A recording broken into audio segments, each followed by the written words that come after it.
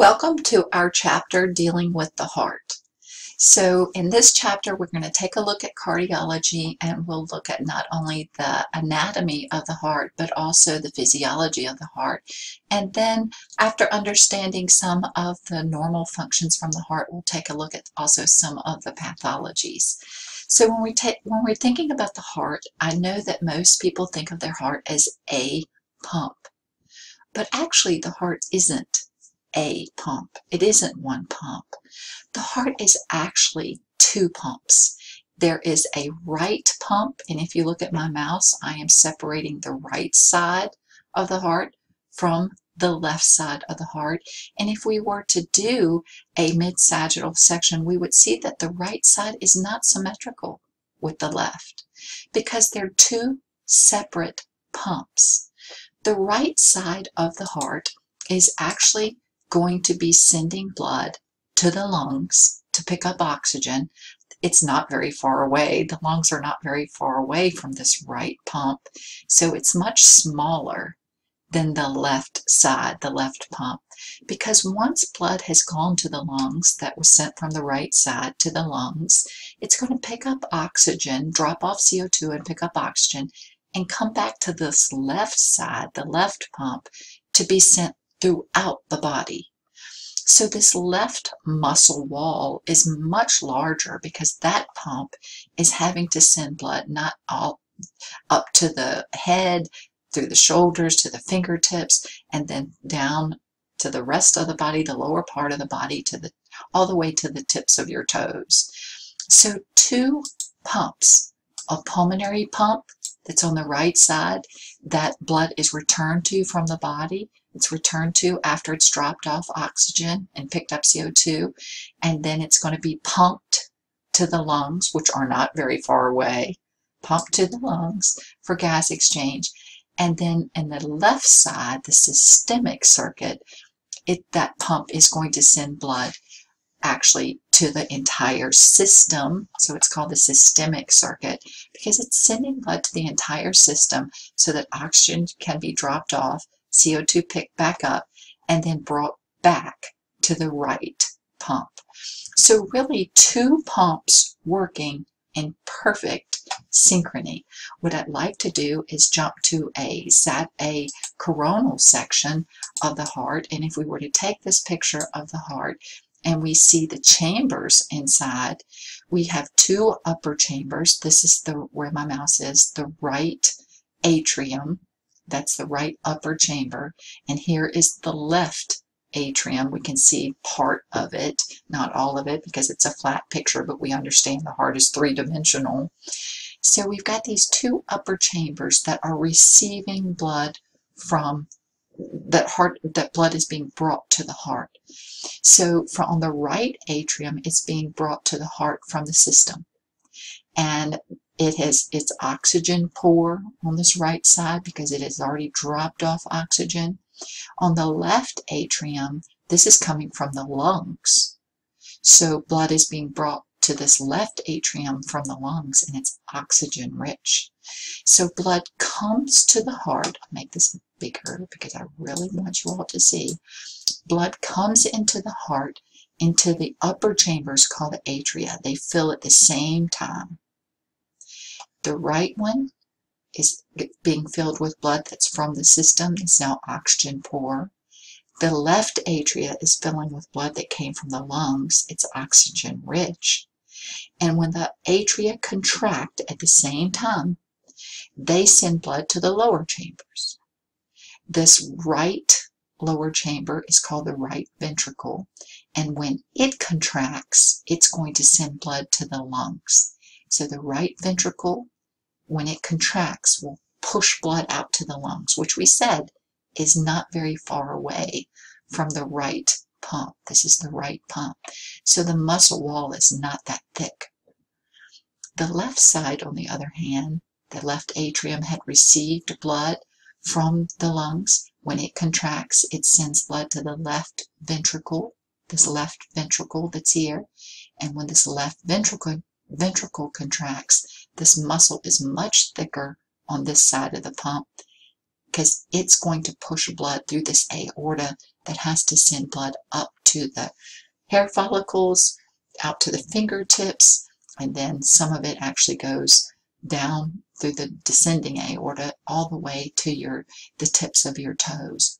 So please, what we need to think about is that the heart is not a pump. It is two pumps working in perfect synchrony. And they must be working in perfect synchrony because the vessels that the blood is coming into the heart from and the vessels that carry blood away from the heart, it, they're a closed system.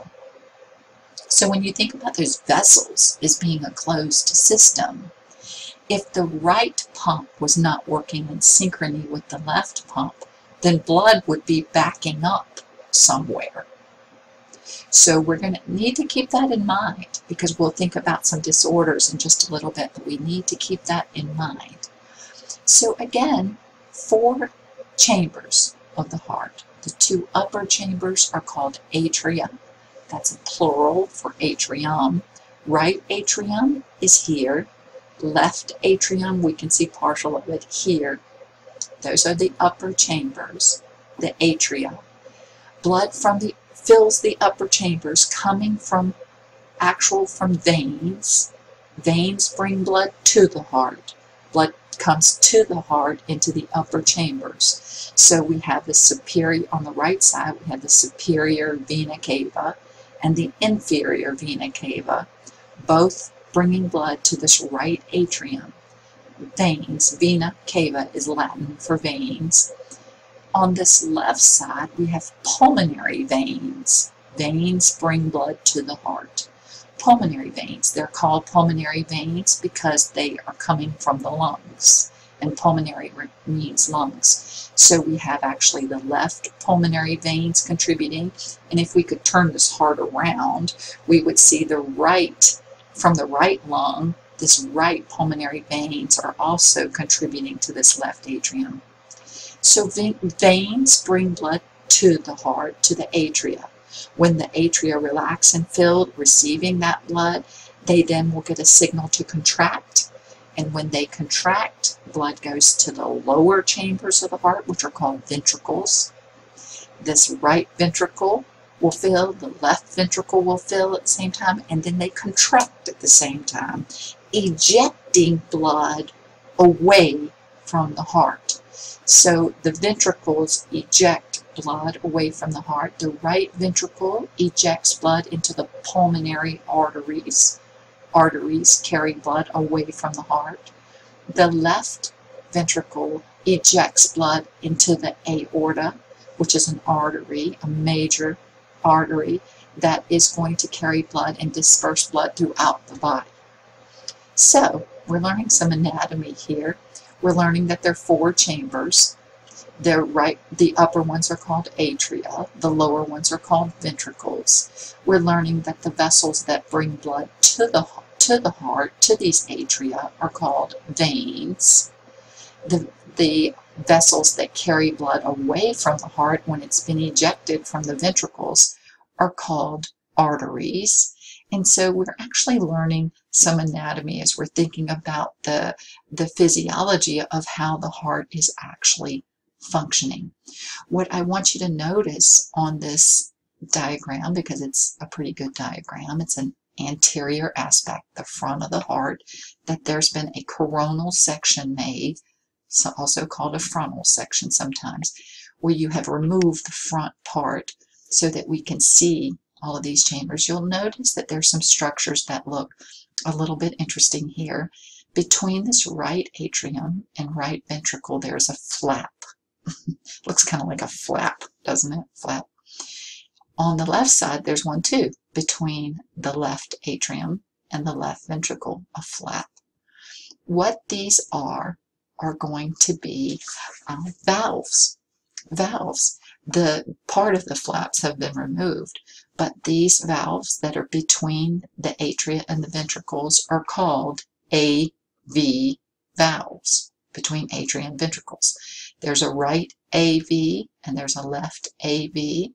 There's also, the right one has another name it's called by, it's called by the tricuspid the word tricuspid because if we did a different um, dissection of this these valves, we would see they have three little cusps. There will be a picture we'll see this on in just a minute. But this right AV valve is also known as the tricuspid. The left AV valve is known as the bicuspid, and the reason is, as you could guess, is that there's only two cusp, not three. It's also not my fault that it's named so many things, but you do need to know the names. This left AV is also known as the mitral valve. Some people remember this valve by the um, little mnemonic L-A-M-B, LAM, because it's the left AV, also known as the mitral, also known as the bicuspid. So if you ever hear mitral valve or you might hear bicuspid, you know they're talking about this particular valve. That's one set of valves that the heart has between the atria and the ventricles, but there's another set of valves that, that are very important to heart function. And those valves are called semilunar valves. And the reason they're called semilunar is they look like half little moons, don't they? Kind of. From this dissection they do, this illustration. But the, again, the right one has a name. This is called the pulmonary valve because it's separating the right ventricle and the pulmonary artery.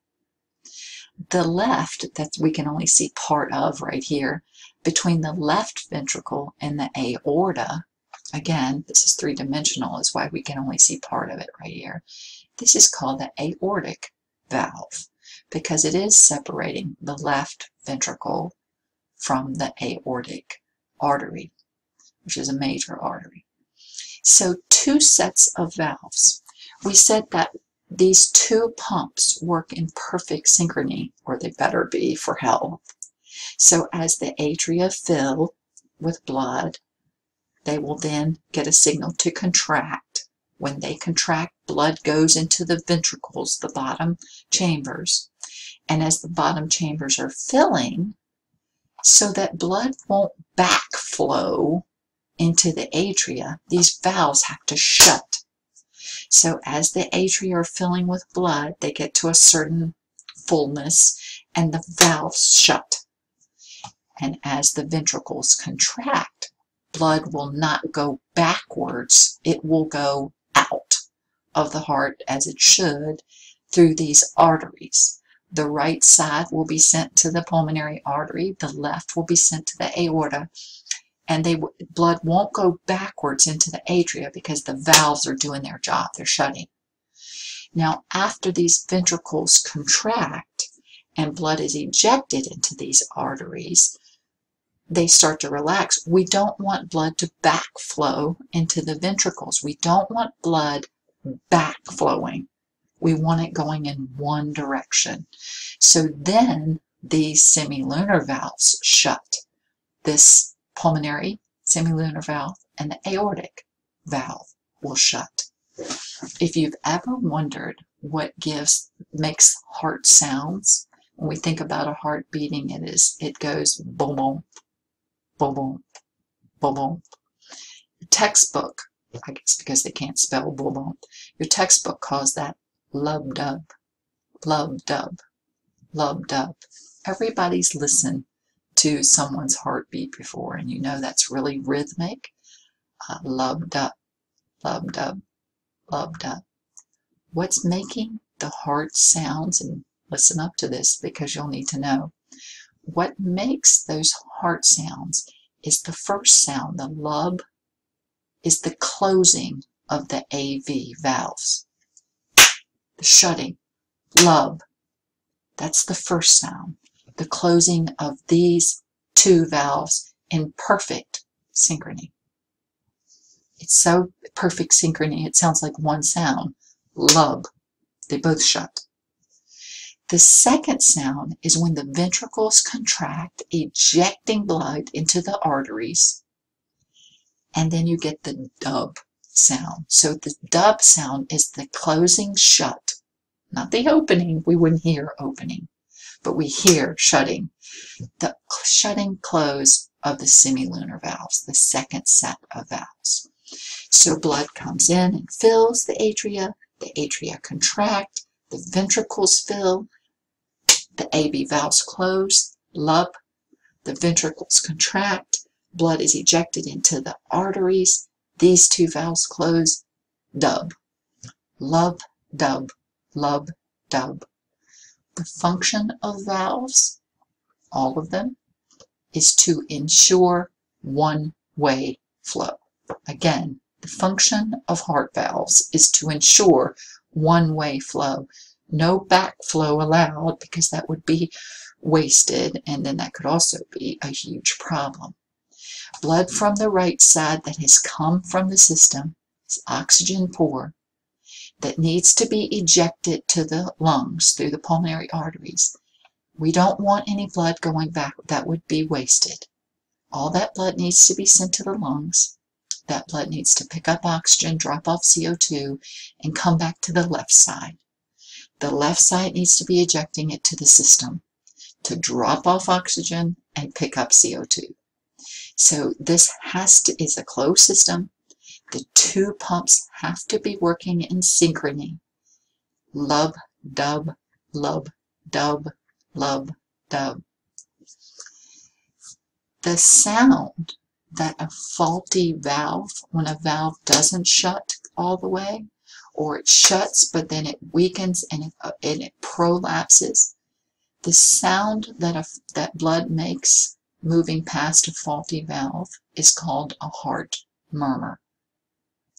So when you're listening to heart sounds with a stethoscope, you can hear the boom, boom, boom, boom, boom, boom. But if you listen closely, if someone has a heart murmur, you'll hear, and you can Google heart sounds and you can hear that what I'm saying, I'm sort of simulating it, but it really sounds like this. If there's a problem with the AV valves, after the first sound, you'll hear a swishing. It's like a love, instead of like boom boom, it's like boom sh, boom boom sh, boom boom sh, boom boom sh. So I know you can make fun of me making these noises, but that's, if you Google heart sounds, it sounds a lot like that. If the valve is faulty as a semilunar valve, if it's one of these these artery valves, the pulmonary artery valve or the aortic valve, then the swishing sound will be after the second sound. It will be boom, boom, sh, boom, boom, sh, boom, boom, sh. But that is absolutely diagnostic of a heart murmur. Now, the thing about heart murmurs is that probably we're all born with slight heart murmurs because our valves are kind of immature and they're whatever.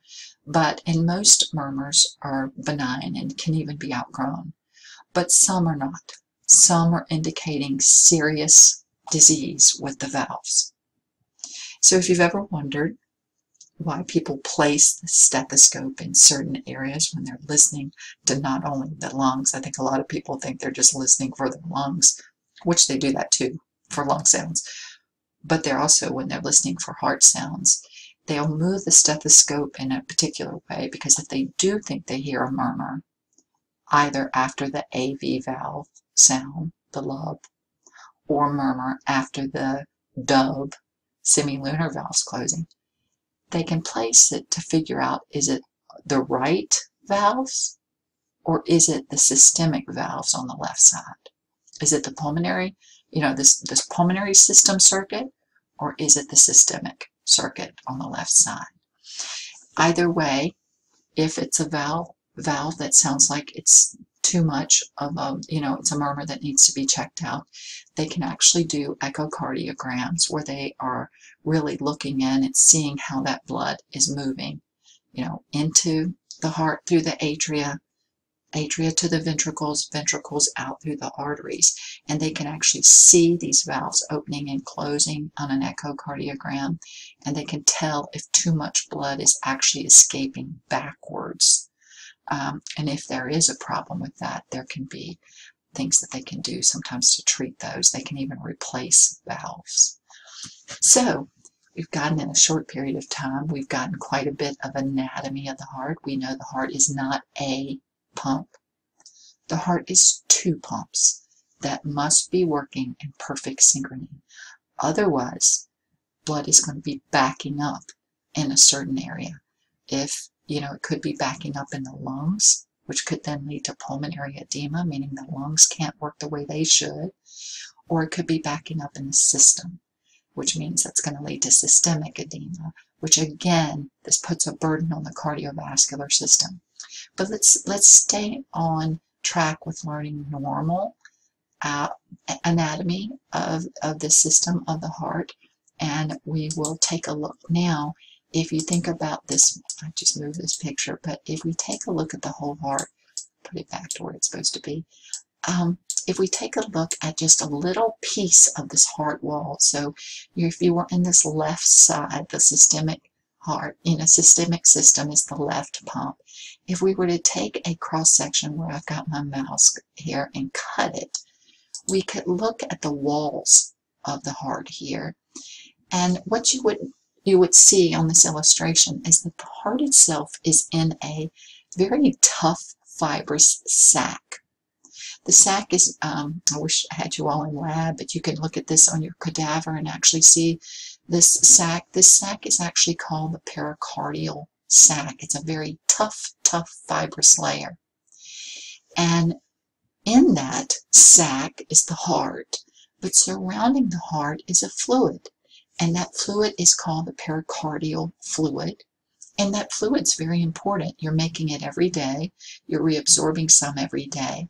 But the heart is changing size. As you can imagine, as fluid as blood comes into the atria, they get bigger, they contract, then the ventricles have to get bigger and contract. So the heart is actually changing shape and size as blood is moving through it and being pumped. So it means that the sac that it's in, there's fluid to reduce the friction as the heart is changing. So we need pericardial fluid. So fluid fills this sac, this pericardial cavity. There can't be too much fluid because it could be impeding on the heart to be able to fill and there shouldn't be too little fluid because that could increase the damage to the heart itself too uh, because of the friction that's created. It needs to be just right, the amount of pericardial fluid. So the outermost fibrous layer, this outermost fibrous layer is called the pericardial sac, the pericardium. The fluid is called pericardial fluid. And then the heart wall, like this wall of the heart, when you, if you had a heart in your hand and you were just holding it, this is actually called the, the they're calling it visceral pericardium, but it's really called the epicardium, epicardium. The muscle is called the myocardium, and the lining of the chambers, all the chambers, the lining of the chambers of the heart is called the endocardium. So endocardium is that tissue that lines all the chambers. It kind of looks slick when you look at it. The muscle part of the heart is the myocardium. The outer layer of the heart is the epicardium, epicardium. The sac that the heart is in is the pericardium, and the fluid between the sac and the heart is the pericardial fluid. You really do need to know all of those layers because you will hear about patients who have pericarditis. And if they have pericarditis, you will know that that means, itis always means inflammation, inflammation of that pericardial sac. And probably you know that with inflammation comes increased fluid. So this is putting a burden on the heart when someone has pericarditis. You can also have patients that have epicarditis or myocarditis. And you would know that would mean the muscle wall itself, the muscle itself the heart is inflamed. Or endocarditis, which you all would know was the lining of the chambers of the heart are, in, are infected. There are many different etiologies. Etiology is the study of the cause. That's what that word means of these these situations. Uh, they are most often viral, so viruses that can enter into the system. Sometimes they're viruses that were respiratory borne, or you know, um, enteric viruses, they're, they're, they can actually migrate and cause inflammation of these linings of the heart. They can also be bacterial.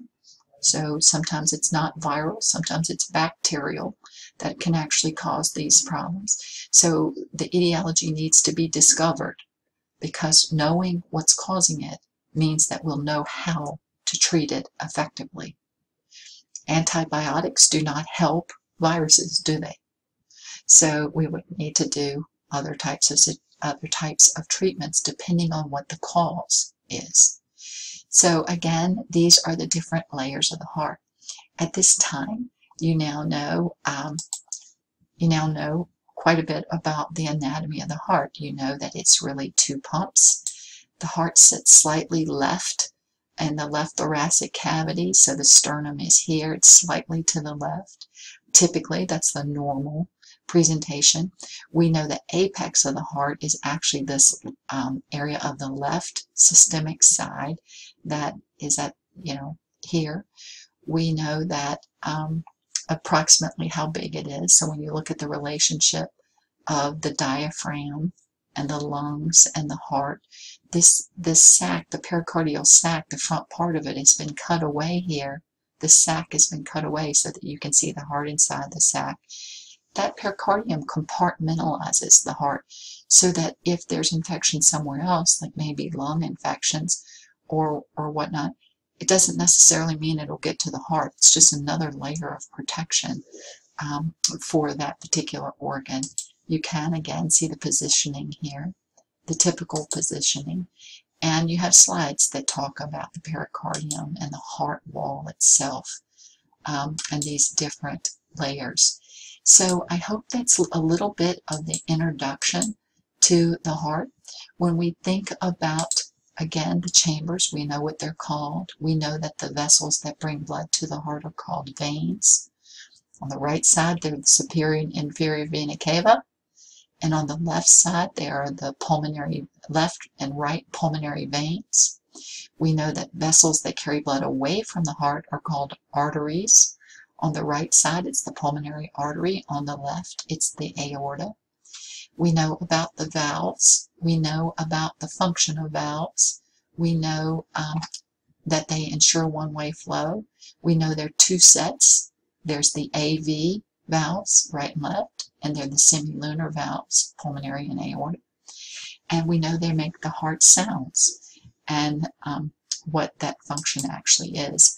When we think about the heart, it is composed of all these tissues, tissues that make up the pericardium, the epicardium, the myocardium, the endocardium, the valves. We know it's composed of these tissues that need blood supply, constant blood supply, because we never want our heart to go without the nutrients it needs to function, the cells that need to function. So the heart itself is nourished by coronary arteries and as those coronary arteries deliver oxygenated um, blood to these tissues to feed the heart wall itself, it's going to be picking up waste and in the form, one, of CO2 to be returned back to the right side of the heart by coronary arteries. When we look at an anterior view, we can see these coronary arteries that are nourishing the heart and from a posterior view you can see those see them as well and then the coronary veins that are returning blood uh, in this closed system back to the right side of the heart so that it can be pumped back to the lungs to pick up uh, more oxygen and be brought back to the left side to do it all again. So when someone has bypass surgery, when you hear about someone having a triple bypass or a quadruple bypass, what they are doing is actually not going into the heart chambers. They're not. What they are doing is looking at these coronary arteries. And when they look at these arteries, they are seeing if the arteries are blocked. If it's a triple bypass, it means there were three areas in the coronary arteries, three coronary artery sites that were blocked enough that they had to go in and try to open them up. There's several different ways that they can do that. They can use balloons to try to balloon that area to stretch it out. so that where the blockage is, it can be stretched out enough that blood can get past the blockage. They can use a stent where they put a little hollow tube in that area that's blocked so that blood again can go through the hollow tube. They can also actually do um, dissections and, and dissect that part out. So there are different ways that they can do um, correct when there are blockages, but when you're talking about bypasses, that's what they're looking at, these coronary arteries that nourish the heart tissues and muscle itself. The heart muscle cannot go without oxygen for any length of time or that those tissues will infarct. Infarct means that there will be a you know blockage of blood to that site and those tissues die. So infarctions means tissue death due to lack of blood supply. And the heart is very susceptible to that. Um, and when that does happen, those tissues do not regenerate. So when someone is having a heart attack or at risk of that and they're worried about that, they will go in and look at these coronary arteries and see if blood is being impeded because of certain blockages. You'll hear about people who had like a 90% blockage of a coronary artery and you wonder how they weren't having a massive heart attack. Um, hopefully, you know, they're caught early enough that they're not. But that's when you hear about that, that's when um, things are done to help to bypass that area. Again, with ballooning or stents or um, removal of that particular site. So this was, I think, a good introduction to the heart anatomy. There are lots of pictures that you can look at. Now, when you look at this picture and you are seeing um, all of these names, maybe it won't be so intimidating to you, but I do want you to look at these.